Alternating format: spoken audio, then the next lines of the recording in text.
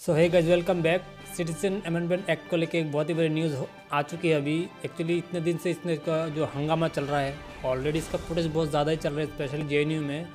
और यूपी में तो बहुत ही ज़्यादा प्रॉब्लम हो रही है। लेकिन इस बीच में ही इसका जो है कानूनी तरीके से लागू कर दिया गया है। इसके लिए ऑलरेडी ऑर्डर निकल चुका है। आप देख सकते हैं स्क्रीन पर ये अभी ऑफिशियल है सीए है या फिर सिटीज़न अमेंडमेंट एक्ट जो है अभी ये लागू हो चुका है पूरे इंडिया में ही।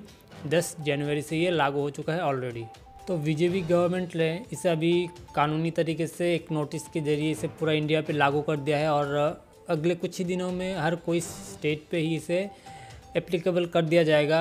इसमें से जितने भी बीजेपी शासित स्टेट है स्पेशली जैसे कि एग्जांपल यूपी त्रिपुरा या फिर और जितने भी स्टेट है आसाम वहाँ पे ये लोग इसे ज़्यादा जल्दी से लागू किया जाएगा क्योंकि वहाँ पे इसको ज़्यादा से ज़्यादा सपोर्ट मिल रहा है। स्पेशल यूपी में इसका तो लागू होगा हंड्रेड परसेंट क्योंकि वहाँ के जो सीएम है बहुत ही ज़्यादा एक्टिव है इसको लागू करने के लिए और त्रिपुरा में भी अब ऐसा ही एक्सपेक्ट कर सकते हैं अगले कुछ ही दिनों में इसे भी लागू कर दिया जाएगा।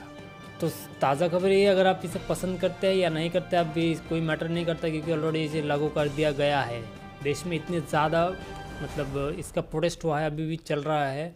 सारे बॉलीवुड सारे लोग उतर आए थे, लेकिन इसको लागू करने से कोई नहीं रोक पाया। सुप्रीम कोर्ट ने भी इस पर कोई ऑब्जेक्शन नहीं दिया, इससे कोई कॉन्स्टिट्यूशन के खिलाफ भी ऐसा कुछ नहीं बताया गया है। तो इसे ऑलरेडी लागू कर दिया गया है। तो ये है आपका अभी लेटेस्ट न्यूज़ आप लोगों को रिमाइंडर के लिए मैं बता देता हूँ सिटीजन एक्ट में जो था, वो यही था जो अफ़गानिस्तान, पाकिस्तान एंड बांग्लादेश, इन तीन कंट्री से 2014 से पहले जितने भी मुस्लिम कम्युनिटी के लोगों को छोड़ के बाकी छः कम्युनिटी के लोग आए हैं, उन लोगों को भारतीय का नागरिकता मिल जाएगा, यानी इंडियन सिटीजनशिप उन लोगों को मिल जाएगा दो हज़ार चौदह से पहले जितने भी लोग आए हुए हैं। और इसके ऊपर डिटेल्स मैंने ऑलरेडी बहुत सारे वीडियो बनाया हुआ है, आप लोग जाके मेरे चैनल पे देख सकते हैं, अगर डिटेल्स जानना है तो।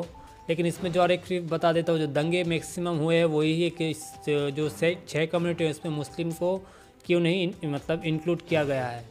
और जो इसमें बीजेपी का स्टैंड था, वो ये था जो तीन कंट्री है, वो ऑलरेडी मुस्लिम प्रधान देश है। वहाँ पे जो माइनॉरिटीज़ बाकी छः कम्युनिटी लोगों को बहुत ही ज़्यादा हिंसा झेलनी पड़ती थी और उन लोग सेफ्टी सिक्योरिटी के लिए जो इंडिया पे आए हुए हैं। इसी वजह से जो इन लोगों को इंडिया का सिटीजनशिप दिया जाएगा। तो आई होप आप लोग समझ सके ऑलरेडी कानूनी तरीके से लागू हो चुका है पूरे इंडिया पे। धीरे धीरे आपके स्टेट में भी आ जाएगा। आप कमेंट करके ज़रूर बताइएगा आप इसके सपोर्ट करते हैं या नहीं करते हैं। यस या नो भी ज़रूर आप इसका रीज़न भी बताइएगा क्यों सपोर्ट करते हैं या फिर क्यों नहीं है। अगर आप चैनल पर नए तो सब्सक्राइब करके सपोर्ट ज़रूर कीजिएगा। मिलते हैं नेक्स्ट वीडियो